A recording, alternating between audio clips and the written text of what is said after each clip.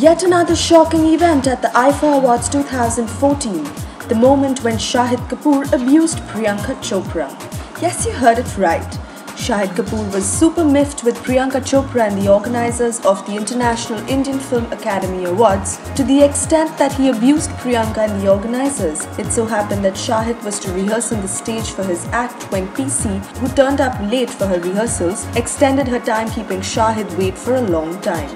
A close source at IIFA reveals that Shahid is a short-tempered person and very particular about time and rehearsals. He was in a good mood as he entered the hall for the rehearsals. He however lost it when Miss Chopra was not ready to leave the stage. He took the mic and went ahead to abuse Priyanka and the organizers. To top it all, even the organizers happened to have no say which further annoyed Shahid. The source adds. This led to Priyanka leaving the stage immediately, though she didn't react. This animosity continued till the end of the event.